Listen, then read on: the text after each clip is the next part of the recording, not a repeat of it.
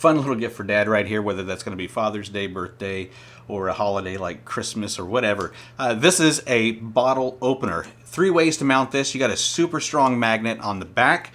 You got mounting hardware if you wanted to uh, if you wanted to secure it to something wood or maybe sheetrock, or you can use this as a piece of adhesive, uh, peel the backing off of that, and stick it just about anywhere. So this is going to go great in a man cave, in a studio, in a garage, in a shed. It doesn't matter. Now the way this works is you you secure this or you install this on your wall then you're going to open you're to slip your bottle cap in here pop it off and it's going to drop right into and this one happens to be a soccer goal so it's going to drop right down in there. When you're not using it this will fold up and stay out of the way. Uh, when you're using it fold it down open up your drink and you're good to go